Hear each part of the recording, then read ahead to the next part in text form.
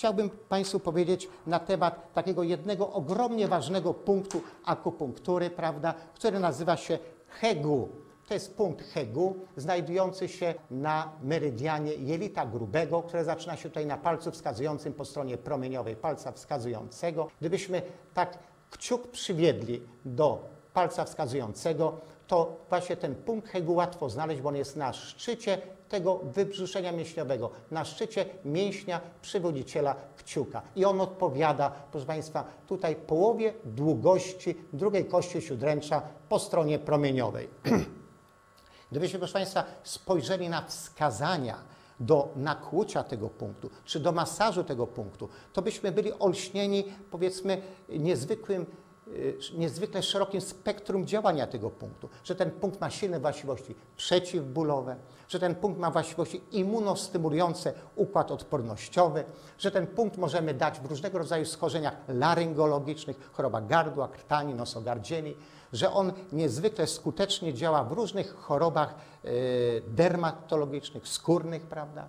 Powstałoby pytanie, jak to jest możliwe, żeby taki punkt, proszę Państwa, gdzieś odległy, miał tak szerokie spektrum działania e, prawda, leczniczego? Otóż, proszę Państwa, okazuje się, współczesne badania prawda, e, to wyjaśniają, a mianowicie, że wzdłuż drugiej kości śródręcza po stronie promieniowej mamy taką strefę ECHIVO. ECHIVO. To jest skrót od nazwy angielskiej Embryon Containing the Information of the Whole Organism, co oznacza jak gdyby taką embrionalną zawartość informacji całego naszego organizmu. To jest taka mikrostrefa akupunkturowa, takie bioholograficzne ECHIVO. To też, proszę Państwa, drażnienie tego punktu wpływa tak szeroko, regulująco, usprawniająco na nasz organizm. Proszę Państwa, zresztą takich mikrostref mamy, proszę Państwa, e, mamy bardzo, bardzo wiele, bo na przykład taką jedną z takich mikrostref jest również małżowina uszna. Jest małżowina uszna.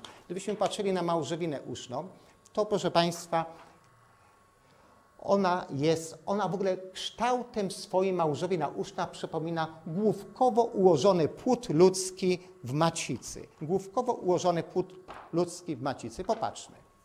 Tutaj na tym slajdzie wyraźnie to widać, że głowa rzutuje na płatek ucha, że tutaj na muszlę ucha tą dolną rzutują narządy klatki piersiowej że na muszlę ucha tą górną, prawda, rzutuje, rzutują narządy jamy brzusznej, prawda, i tak dalej, i tak dalej. Jak się rozkładają y, kończyny dolne, kończyny górne, prawda, mamy cały szereg, prawda, narządów w małżowinie usznej, czyli mamy innymi słowy strefy, prawda, y, odruchowe, które odpowiadają za, y, które odpowiadają za funkcję poszczególnych narządów. I tutaj właśnie mamy tą małżowinę uszną jako tą mikrostrefę pokazaną w sensie projekcji narządów, y, narządów wewnętrznych.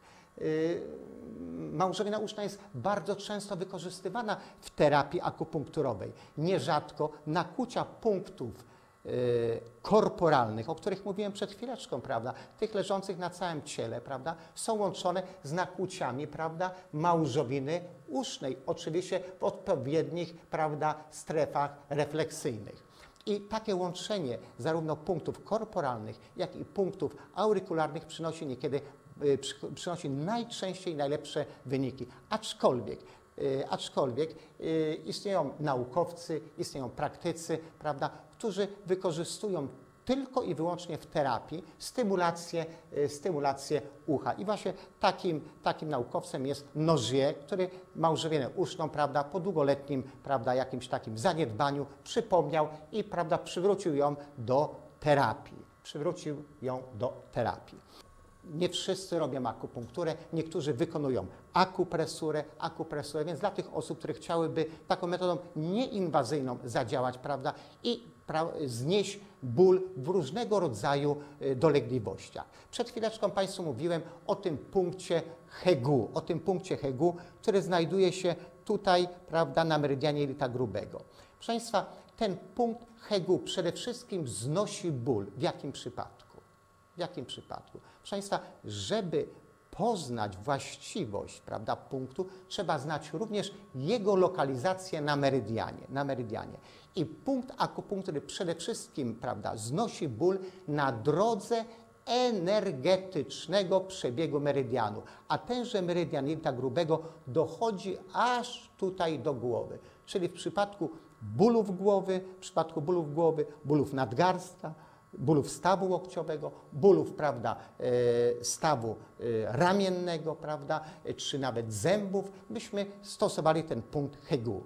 Natomiast, proszę Państwa, można ten punkt również masować odpowiednią techniką. Proszę Państwa, ale w przypadku na przykład bólów kręgosłupa czy bólów kończyn dolnych musielibyśmy znać, proszę Państwa, punkty, które działają na tenże obszar. I właśnie y, ten, ten rejon, ten rejon grzbietu, prawda, jakżeż często się uskarżamy na bóle okolicy krzewolędźwiowej, na bóle kręgosłupa tutaj odcinka, odcinka piersiowego, prawda, czy nawet na bóle odcinka szyjnego. Jeśli będziemy pamiętać, że ten region, ten region jest zaopatrzony przez meridian pęcherza moczowego, to na tym właśnie meridianie znajdziemy potężnie ważne punkty działające analgetycznie. A mianowicie, proszę Państwa, gdybyśmy chcieli komuś pomóc, komuś pomóc, nie mamy igieł akurat, lub nie jesteśmy y, medycznie przygotowani do tego, ale chcielibyśmy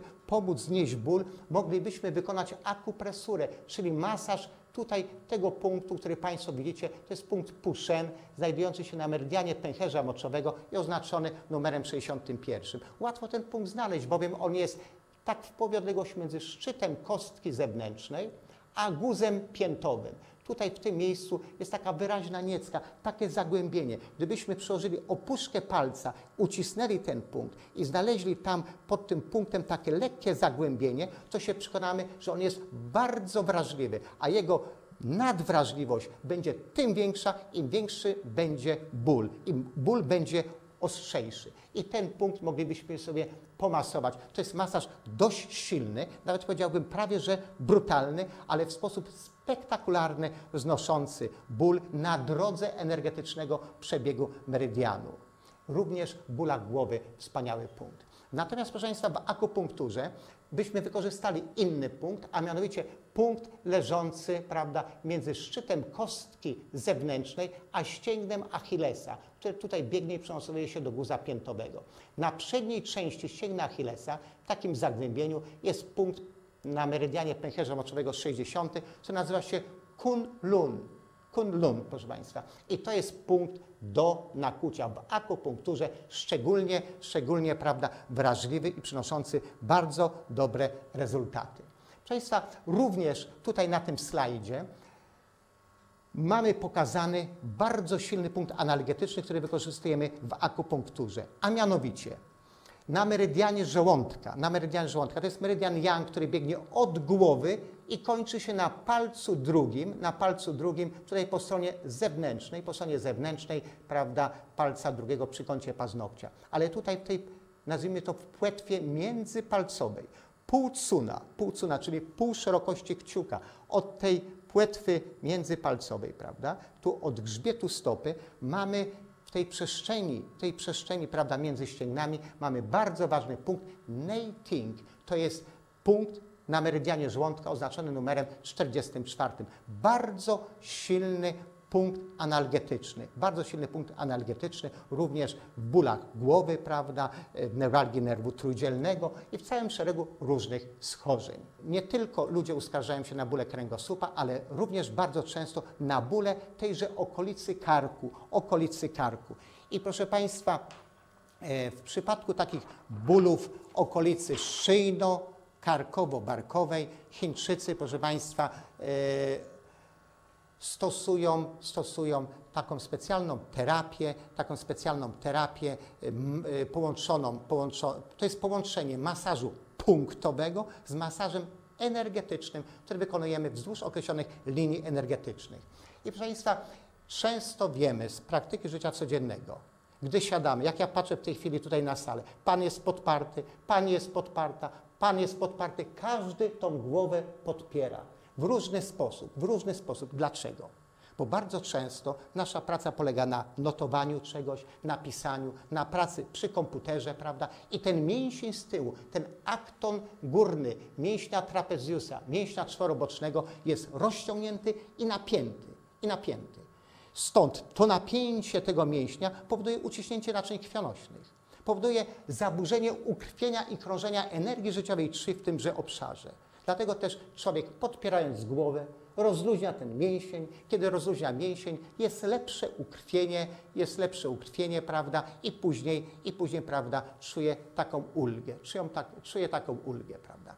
Więc proszę Państwa, Chińczycy, widząc to, że zmęczenie bardzo często się kumuluje właśnie w tym obszarze, ten punkt, proszę Państwa, na głównym regulatorze tylnym, prawda, znajdujący się pod siódmym wystającym kręgiem szyjnym, to jest taki prominentny krąg, prawda, nazwali punktem 100 zmęczeń. Popatrzcie Państwo, jaka piękna nazwa, 100 zmęczeń, prawda. To jest y, właśnie punkt na meridianie głównego regulatora tylnego, 14 that's way, prawda, that's way. Masaż tego punktu przynosi określoną ulgę, odblokowuje krążenie energii, pobudza krążenie, y, krążenie krwi.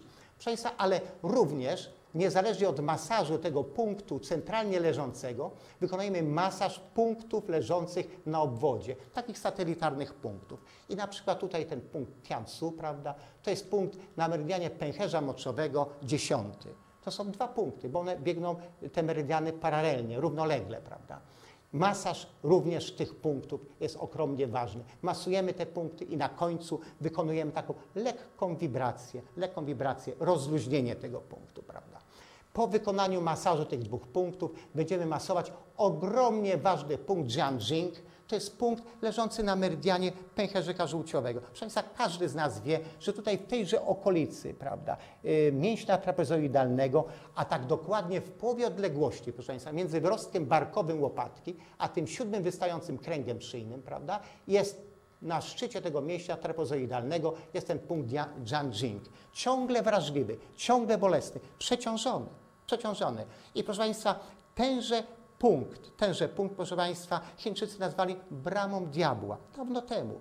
Jakżeż cudownie, wspaniale charakteryzująca nazwa tenże punkt, bo ten punkt jest ciągle wrażliwy, ciągle wrażliwy, ciągle bolesny. Kiedy oglądamy jakiekolwiek filmy, jakikolwiek masaż, prawda, to zawsze masażysta masuje ten akton górny mięśnia trapezoidalnego, bo tutaj się kumuluje zmęczenie. I właśnie masaż tego punktu powoduje takie odprężenie. Niezależnie od tego, proszę Państwa, jeszcze będziemy masować punkty znajdujące się prawda, na meridianie jelita punkt Bing Feng, Bing Feng, brama wiatru się nazywa. Znowuż piękna nazwa, prawda? Ale leżący, proszę Państwa, w tym dole nadgrzebieniowym łopatki, który wypełnia mięsień nadgrzebieniowy, który biegnie aż do guzka większego kości ramiennej. To jest ten mięsień, który odpowiada za ruch odwiedzenia. On zaczyna ruch odwiedzenia. Czyli, proszę Państwa, w przypadku dysfunkcji w obrębie stawu ramiennego pamiętajmy o tym bardzo ważnym punkcie. Ale przede wszystkim ten punkt będziemy masować,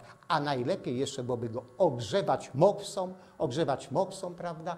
Ładniutko w tymże punkcie byśmy, prawda, tą moksą ogrzewali, a następnie byśmy zrobili taki masaż, prawda, termiczny całego mięśnia aż do przyczepu prawda, tutaj dalszego tego mięśnia do guzka większego. Proszę Państwa, szczególnie w tych zespołach bólowych, które są spowodowane czynnikiem patogennym zimna, wiatru, chłodu, wilgoci. Wiemy, że jak ktoś jest kierowcą, latem jeździ, łokieć wystawia, prawda, zawieje go i później ma dolegliwości bólowe. W tym wypadku, jeśli wiemy już z wywiadu, że ból jest spowodowany czynnikiem tym patogennym, chorobotwórczym, wiatru, zimna, stosujmy boksę. Czyli byśmy tutaj również zrobili masaż, ale masaż termiczny moksą, prawda?